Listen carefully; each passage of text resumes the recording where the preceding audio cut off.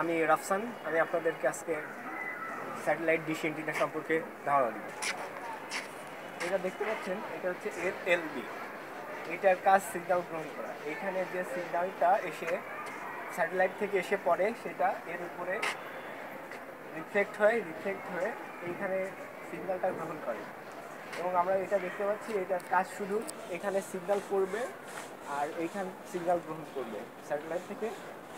আর, এখানে আসুন, আমি আপনাদেরকে আরও পরিচিত দেখাচ্ছি। এটা হচ্ছে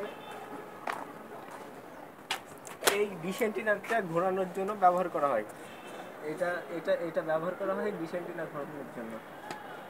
আর এটা হচ্ছে কেবল আর এটা ইউটিভি কেবল এই কেবলটা দিয়ে আমরা সিগন্যাল নিই। আচ্ছা দোস্ত কেটে দাও